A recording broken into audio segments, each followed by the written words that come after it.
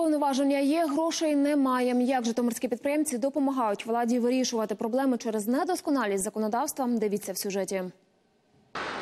Занедбані палати лікарень, відсутність дитячих майданчиків, старі меблі в школах. Підприємці в Коростені вирішили покласти цьому край. Вони об'єдналися з місцевою владою, допомагають вирішувати нагальні проблеми міста. Кажуть, особливо страждають медицина і освіта. Не можемо чекати, поки там вверху дойде, що по медицині у нас велика проблема, тому ми на місці вирішимо. Закріпляємо підприємців і підприємства за відділеннями, за яку роботу виконати, які ремонти в палатах провести, яке обладнання закупити. Ми тоді відремонтували 65 палат, приймальне відділення. Ми благоустрій на території лікарні зробили.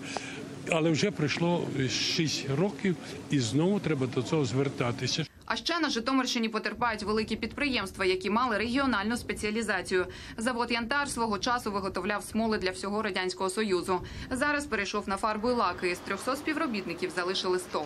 Це було лісохімічне виробництво. Таке виробництво воно єдине в Україні. Єдине.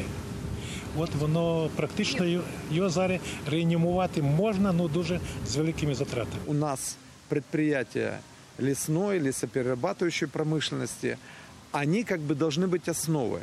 Последние годы у нас вообще было отсутствие государственной политики в плане развития, какая будет, какое будущее отрасли. Підприємства опинилися на межі виживання ще й через закритість ринків СНД та неможливість постачати продукцію в Європу. Переконаний нардеп Юрій Павленко каже, компанії працюють у півсили, тож найголовніше поліпшити умови роботи для підприємців. Ми ініціюємо податкові канікули для малого і середнього бізнесу з тим, аби кожен житель громади міг створювати, відкривати нові підприємства. Необхідно прагматично підійти до підтримки підприємництва загалом, відкрити і знаходити нові ринки для української продукції. А ще нардеп наголосив на необхідності справжньої децентралізації, яка надасть ресурс для виконання зобов'язань. Адже на місцях не ідеальна інфраструктура, а дірки латати доводиться за попередні кілька десятиліть. Сьогодні держава не виконує своїх обов'язків. Сама Коростенська